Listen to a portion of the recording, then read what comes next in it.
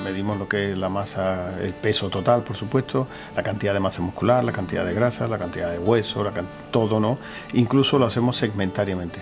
Cuánta musculatura hay en la pierna derecha, pierna izquierda, brazo, tronco, etcétera, etcétera. Con lo cual tenemos una información muy detallada de cada chica, que además contrastamos con la que tenemos desde hace años. Aquí hay chicas que hace 4 o 5 años que le llevamos haciendo esto con frecuencia.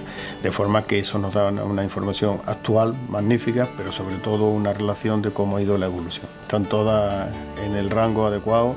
En algún momento, algunas hace años que podían haber tenido un pequeño desfase, lo han ido corrigiendo y hace ya, vamos, es imposible casi ya ver algún problema en alguna jugadora porque todas vienen absolutamente preparadas.